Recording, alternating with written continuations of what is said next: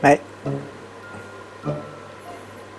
ライチ君元気？うんうん。元気かい？ライチ君。ね。今日もねちょっと日中 いなかったので。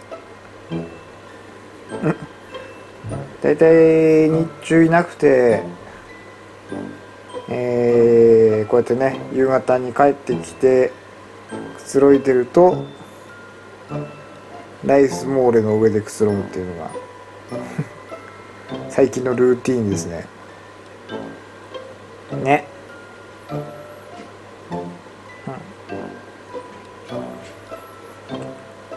うん、なんかなんやかんや自分のことやったりあとちょっとねあの仕事頼まれてそっちやったりしてるうちに気が付いたら10日間動画出してなかったですね。ね大地くんこっちこっち。こっち向いて。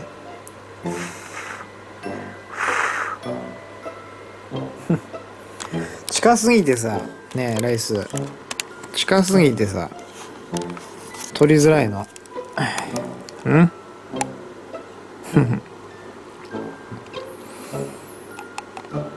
いや最近ね本当になんだろうね。日常が非常に落ち着いてますね。ね。なんかすんごい不満とかもないしまあすんごい幸せとかも別にないんですけど。すごい安定してますね。ここ最近ですけど、まあ、何年とかではないけど。ね。まあ農作業もね一段落しまして。えー、なんだろう。自分がやんなきゃいけない系の仕事はうん今はもうないかな。農業関係でね。うん。っていう感じなんでまああの本当に本当に ゆっくりしてる感じですね今ね。やっぱりねあのー、まあちょこっとね違う仕事でまあ外に出てねあのー、日雇いみたいな感じで稼いでたりするんですけどそういう仕事するとやっぱりねあの、あすごい気楽だなっていうふうに思うんですよね。まああのうん。農業だとどうしてもそのまああの硬い言い方すると個人事業主ってことになるんであのなんだ自分がね責任持ってやんなきゃいけないと。はい。まあ私の場合は親父もいるんでねあのいくらかあの分散されるんですけれどもそれでもねあの自分がメインでねまあやってるつもりでやってますんで、えー、やっぱりねその分責任というかあのちゃんとねうんやんなきゃいけないみたいな。自分がやんなきゃいけないみたいな。そういう思いでねやってますんで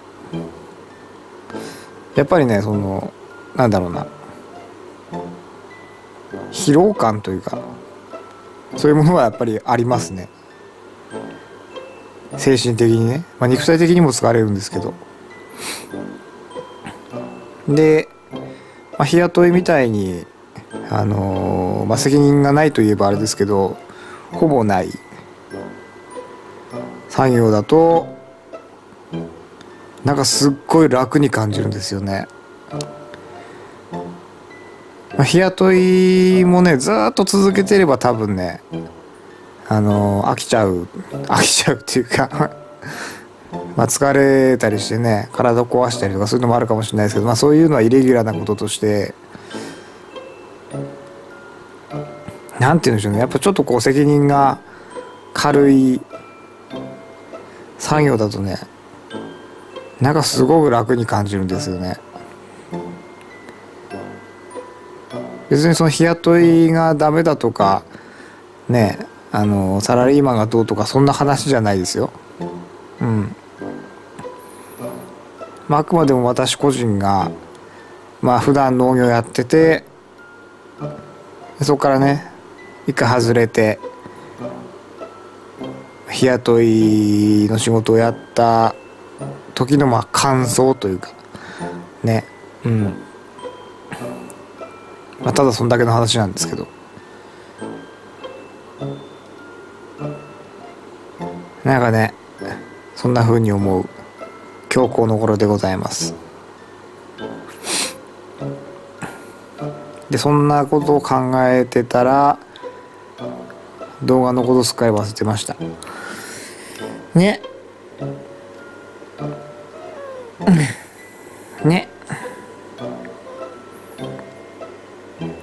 YouTube もね一時は結構いいお小遣いになったんですけど最近は。まあ私がね結構モチベーション下がって活動がね活動する頻度が減ってきてるっていうのもあるんですけどだいぶねあの落ちてきちゃいまして。ね。まあずっとね私も同じことやってるんでしょうがないなとは思うんですけど。なかなかモチベーションの維持っていうのは難しいところですね。ね。まあ頻度はね落ちるかもしれないですけどこれからもね続けていこうとは思ってるのではい。週1ぐらいでまたねやっていこうかなみたいな感じです。はい。ねえライチ君。ライス君もねもう今年で5歳ですよ。5歳になりましたよ。もう。あっという間だねほんとね。ついこの間までみやみや言ってたのにな。まあ今も言うけどね。それがこんなになっちゃっても。ういやそんな変わってないか。中身は子猫だもんなお前な。ね。嵐先輩はそうすると多分9歳とかになるのかな？多分4歳4歳違うかな？3歳違うかな？うんまあいいや。そんな感じでどんどん時間は過ぎていきます。黙ってても時間は進んじゃいますね。ね。私ももう31ライスくん拾った時はあ痛い。26?5 年前だもんね。26でしたよ私も。まあ特に何かが変わったって感じしないんですけどね。何かが変わったとしたら体重は確実に増えましたね。ね。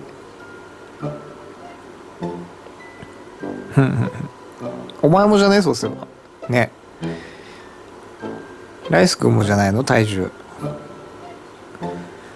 我々は共に同じ運命をたどっているようだな。ね。ライチ君？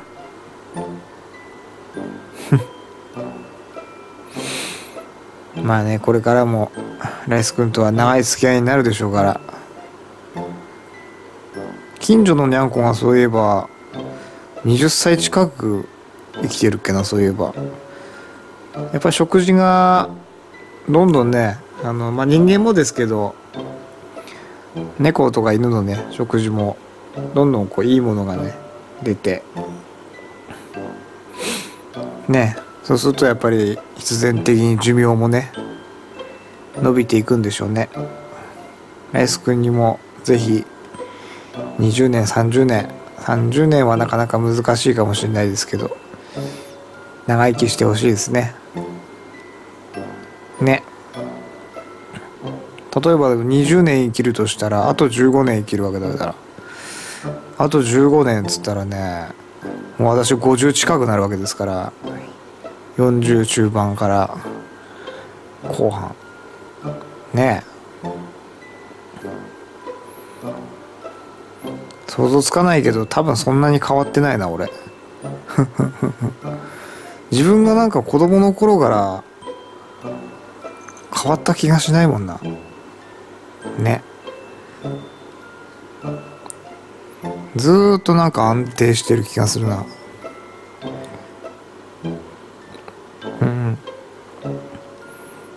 分は成長したとか自分はなんだろうな。こうね変わった。って痛い痛い痛い。痛い痛い爪痛い。変わったとかでね。